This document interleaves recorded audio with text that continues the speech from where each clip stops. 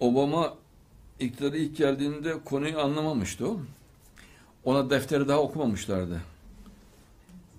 O defteri okumak için üç kişi geliyor. E, yani Amerikan devletinin ne olduğunu anlatıyorlar. Devletin amacını, devletin sırlarını, devletin kimin kurduğunu, devletin kimin emrinde olduğunu anlatıyorlar. Ünlüdür o. Her başkana okunur o. Sır. Fakat geldiğinde masada bakıyor Churchill büstü var. Anlayamıyor. Paketleyip gönderiyor. sonra o şeyi okuduktan sonra yazıyı okuduktan sonra getirip büstü yeniden şak diye masanın üstüne koyuyorlar. Gıkı çıkmıyor. Bak önce paketleyip gönderiyor. Sonra okuduktan sonra devletin kime hizmet ettiğini, devletin nasıl kurulduğunu, amacını, Amerikan devletinin amacını söyleyince adam felç oldu ondan sonra.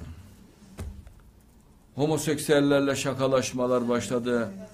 Komünistlere muhabbet, YPG'ye, PKK'ya silah bomba göndermeler. Önce Hüseyin Obama falan diyordu. Elhamdülillah Müslümanım diyordu. Sonra ateist görüntüsü vermeye başladı. Evet, dinliyorum. Obama'nın Newsweek dergisindeki ilk gay baş ilk gay başkan diye resmi. Kapaktan bu şekilde fotoğraf veriyorlar.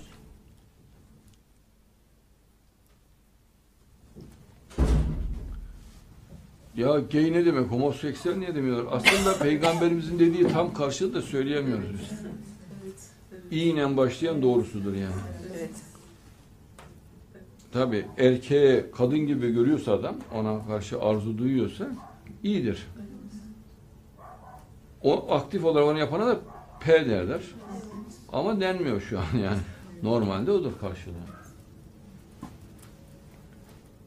Ben her gece sarhoşum aşkından böyle Aşk yolunda berduşum ben kaderim böyle Aşk yolunda sarhoşum ben kaderim böyle Evet dinliyorum. Güzel bir